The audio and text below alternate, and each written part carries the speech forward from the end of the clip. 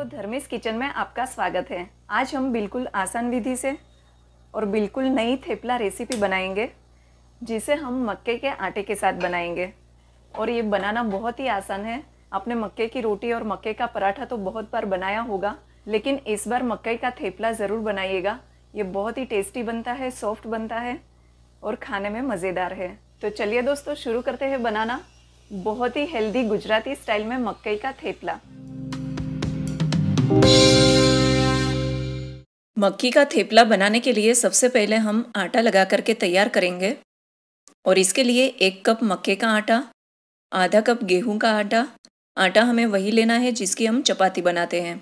डेढ़ कप बारीक कटी हुई मेथी, आधा कप बारीक कटा हुआ हरा धनिया, वन फोर्थ कप कसा हुआ गाजर भी ऐड करेंगे। अब उसी के साथ एक उबला हुआ आलू भी कद्दूकस करेंगे, जिससे हमारा थेपला बहुत ही सॉफ्ट बनेगा। अगर आप आलू खाना पसंद नहीं करते तो उसी की जगह पर आप एक उबला हुआ कच्चा केला भी ऐड कर सकते हो। अब उसी के साथ एक टेबलस्पून अदरक मिर्ची की पेस्ट आप चाहे तो लहसुन की पेस्ट भी ऐड कर सकते हो। वन फोर टीस्पून हल्दी, एक टीस्पून अजवाइन को हाथ से ही थोड़ा सा मसल कर ऐड करेंगे। आधी टीस्पून हींग, स्वादानुसार नमक ऐड करेंगे और वन फोर्थ कप दही भी ऐड करेंगे। दही हल्का सा खट्टा होना चाहिए। अब सभी सामग्री को अच्छे से मिला लेंगे।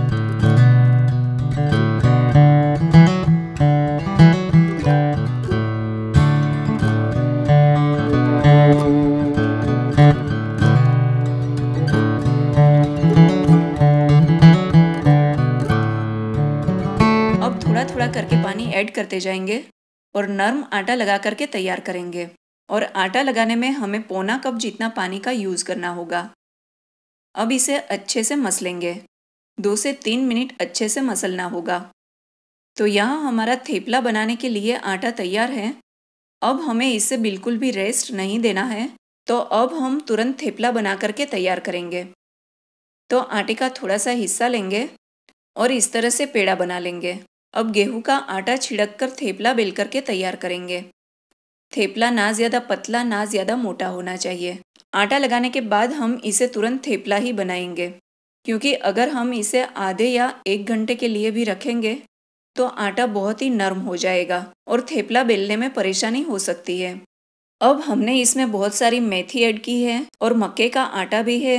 तो किनारे फटेंगी। तो इसलिए हम बड़ी सी कटोरी या डिश की सहायता से इस तरह से गोलाकार कट कर लेंगे, ताकि हमारे सभी थेपला एक समान दिखे। अब इसे गर्म तवे पर सीख लेंगे।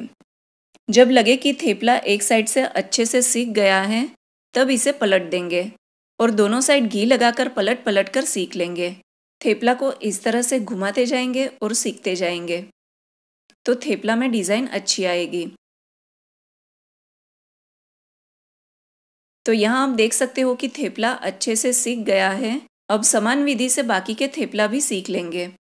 हमने जितना मेज़रमेंट लिया है, उसी में से पंद्रह थेपला बनाया जा सकता है। मैंने थेपला बनाने के लिए घी का यूज़ किया है, लेकिन आप चाहे तो तेल का भी यूज़ कर सकते हो। लेकिन थेपला बनाने के लिए हमने मेथी का और मक्के के आटे का यूज़ किया है तो ये घी में ज़्यादा अच्छा लगेगा।